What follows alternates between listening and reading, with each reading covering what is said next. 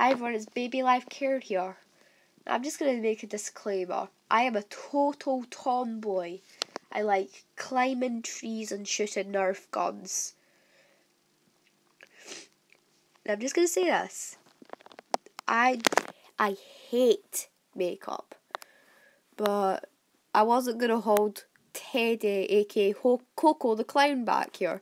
She wanted to wear it. This is what happened. Purple blusher purple eyeliner, pink eyeshadow, whatever it's called.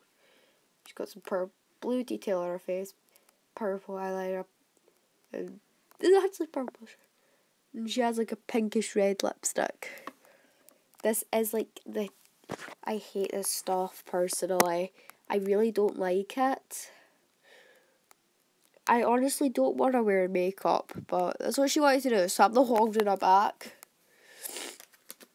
Plus, I don't feel like holding the girls back today since I'm not feeling well at all. I've almost went through a whole box of tissues. I'm not even kidding. So you can't already tell. I can hardly talk. And this is not like me.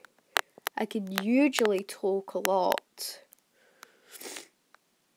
Eden's sleeping right now, so I managed to get some filming cool. So I actually get some filming doing. Done. I just can't talk today. So yeah, tell, let us know what you think of Teddy's makeup.